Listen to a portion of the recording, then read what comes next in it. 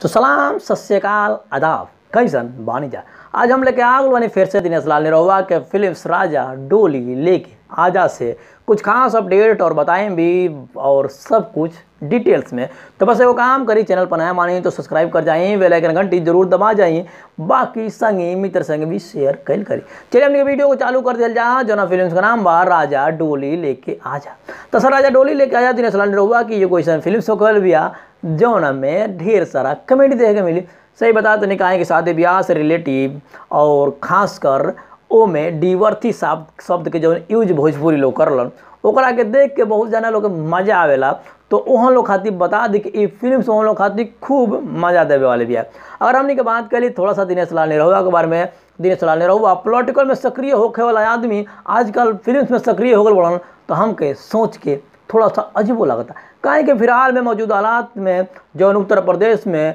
विधानसभा के चुनाव होखे वाला बा, और उ पार्टी के प्रति सक्रियता न दिखा के फ़िल्म के प्रति सक्रियता दिखाओ तरन तो हमके सोच के थोड़ा सा आश्चर्य होता है कि का ए बरी के दिनेश लाल निरहुआ विधायक के ना लड़ी हन, या प्रचार भी वो तरह से ना करी हन, ई तो समय आई तो पता चल जाए। तो फाइनली दिनेश लाल निरहुआ के फ़िल्म